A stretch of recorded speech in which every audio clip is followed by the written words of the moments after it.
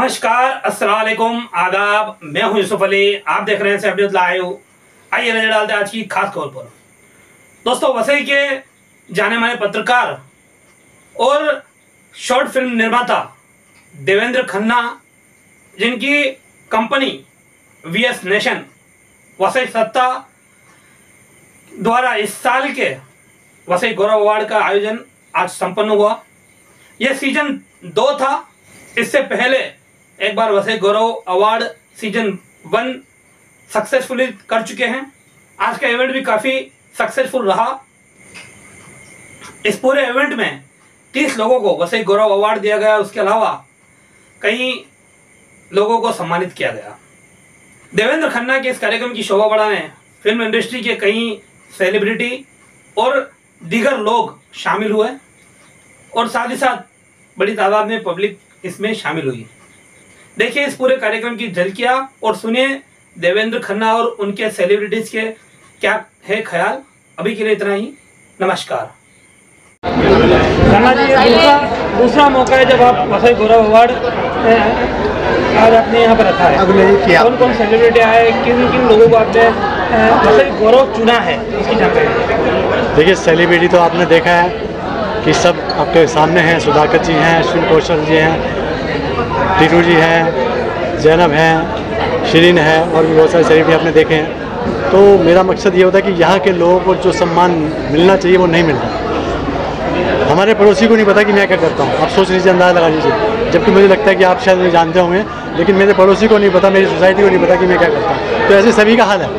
अच्छे अच्छे टैलेंट यहाँ पे बड़े हैं। लेकिन उनके पड़ोसी को पता नहीं कि वो आदमी क्या करता है। तो वो सामने उनको लाऊं उनके बारे में थोड़ी चर्चा हो। इसलिए मैंने अवार्ड शुरू किया है वसई गोला अवार्ड इसका सीज़न टू है। अभी टीटू जी आए इनका भी मैं धन्यवाद करता हूँ सुधाकर जी उनका मैं धन्यवाद करता हूँ। कितने लोगों को आपने चुना इस अवार्ड के लिए? तीस तीस लोगों को चुना इस बार। और पिछली बार भी तीस लोगों को चुना? ये काफ़ी फ़ील्ड है।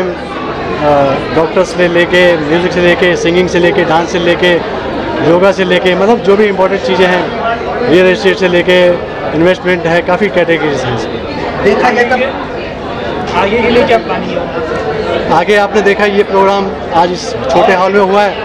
अगली बार मैं चाहूँगा कि बगल वाला ये हॉल है तीन हज़ार जिसमें कैपेसिटी है ये अवार्ड मैं वहाँ करूँ और इनसे जो मेरे सेलिब्रिटी मेरे दोस्त लोग हैं ये तो आएँगे लेकिन इनसे भी एक बड़ा नाम जिनको देख के दुनिया खुद आना चाहेगी ऐसा कुछ लाना सर आपसे लोग जुड़ना चाहिए टैलेंट आप ढूंढ रहे हो मार्केट में अपने मुंबई या बम्बई से बाहर में टैलेंट ढूंढ रहे हो अपना मौका दिखाने की सोच रहे हो ना?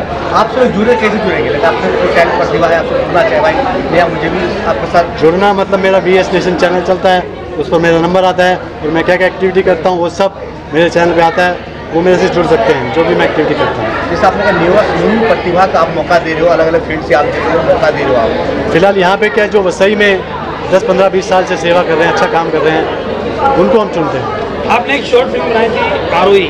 बेटी आ रही है बेटी आरोही। उसका हमने सुना है कि काफ़ी उसकी सराहना हुई है। आगे इस। फ़ील्ड में और क्या आप बिल्कुल आपके आशीर्वाद से उसको लगभग मेरे को लगता है छिहत्तर सत्तर हज़ार लोगों ने देख लिया और अभी डिमांड हो रही है कि पार्ट टू बनाएँ। और मोस्ट प्रॉब्लम मुझे लगता है कि अपन जुलाई में उसकी शूटिंग करेंगे। अगला सवाल आपसे है अच्छा, हाँ। वैसे आग आपको कैसा महसूस हुआ? आ, मुझे तो पहला अवसर मिला है जो देवेंद्र खन्ना जी ने मुझे अप्रोच किया। वैसे मेरे अच्छे मित्र हैं। तो मुझे नहीं पता था कि सेकंड इनका सीज़न है तो मुझे बहुत मज़ा आया आके। अपनापन सा लगा और इनका जो काम कर रहे हैं देवेंद्र जी रियली जब ये 20 साल इन्होंने वसई जैसे क्षेत्र को दिया तो यहाँ की प्रतिभा को आगे लाने की ज़िम्मेदारी भी इनकी है और ये शायद बखूबी को निभाने में कामयाब हो रहे हैं, जो मैंने आज एटमोसफेयर देखा है। और मुझे बड़ा गौरव फील हो रहा है कि मुझे भी सम्मान किया गया, एक रिगार्ड मिला है। सीनियर मेरी इंडस्ट्री के सीनियर लोग मेरे साथ हैं। उनसे मिलना लोगों के बारे में जानना और ऐसे फ़ंक्शन में आना एक खुशनसीबी वाली बात है। आप फ़िल्मों में परफॉर्मेंस करते हैं बड़े बड़े मंच पर जाते हैं। ऐसे में आप वैसे ही आए वैसे आके आपको किस तरह का फील सच बताऊँ तो वैसे ही मैं पहली बार ही आया हूँ। इससे पहले कभी नहीं आया। नायगांव तक मैं शूट करने आया हूँ। वैसे कभी काम नहीं पड़ा इतने आठ सालों से मैं बॉम्बे में हूँ। लेकिन इस कार्यक्रम में जुड़ने के बाद वैसे ही पब्लिक से मिलने के बाद आपको कैसा फील अपनापन सा फील हो रहा है। अपना शहर जैसी फीलिंग आ रही है। वैसा अपनापन होता है मिल के बात करना। मतलब बहुत होता है ना बहुत कमर्शियल लोग होते हैं वैसे नहीं है यहाँ पे कमर्शियल लोग जिनको काम से काम में कोई मतलब नहीं है। अच्छा लग रहा है मेरे को कुल मिला एक अपना कुछ जो खास है वो परफॉर्मेंस का आधे मिनट का खाली दर्शकों को बता दीजिए। हाँ? कोई भी परफॉर्मेंस आपका? अरे ये तो गनीमत है कि मैं था दाढ़ी ना पहले पानी कौन आथू फूक रही चू के बाद थाड़ की दाढ़ी बढ़ाऊला ये एक राजस्थानी फ़िल्म थी जिसका नाम था टर्टल उसमें एक नाई होता जो मतलब पानी नहीं है तो क्या करे? सूखी दाढ़ी तो थूक देता उसको पता नहीं चलता इस टाइप की एक्टिंग देखा जाए सब कुछ आप एडवाइस या कोई टिप्स आप देना चाहें सोलह साल का प्रोग्राम किया है?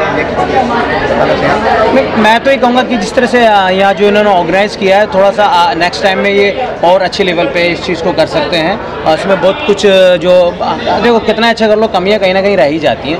यहाँ से सीखने के बाद नेक्स्ट प्रोजेक्ट में ये कमियों को दूर करें। कुछ और मैनेजमेंट में मज़बूत लोग आने चाहिए।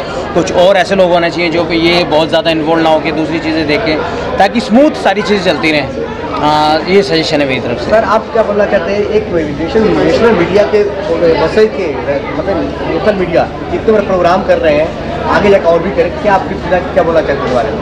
देखिए देवेंद्र मेरे छोटे भाई जैसा है और ये जो सेकंड इनका अवार्ड है, मैं फ़र्स्ट में भी आया था और सेकंड में भी आया हूँ और ये जब जब बुलाएँगे मैं आता रहूँगा।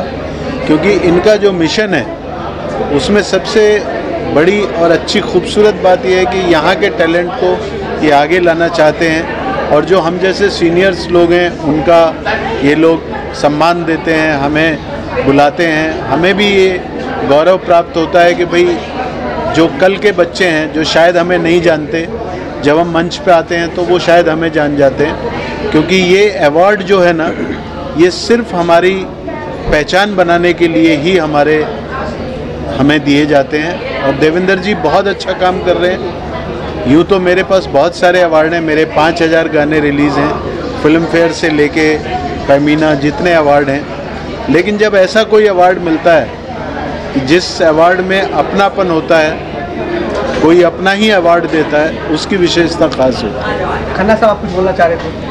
मैं ये बता दूँ कि सुधाकर जी उस समय भी आते थे जब मैं यहाँ सिंगिंग शो करता था सिंगिंग टैलेंट कॉन्टेस्ट करता था वसई गौरव तो अभी मैंने शुरू किया लेकिन पहले जो सिंगिंग के प्रोग्राम होते थे उसमें भी सुधाकर जी आते थे। हम लोग लगभग तीस साल से साथ हैं। बहुत बड़ी बात है। थैंक यू हमारे चैनल सैफ न्यूज़ लाइव पर अपने व्यापार और सेवा से संबंधित विज्ञापन प्रसारण हेतु दिए गए मोबाइल नंबर पर संपर्क करें।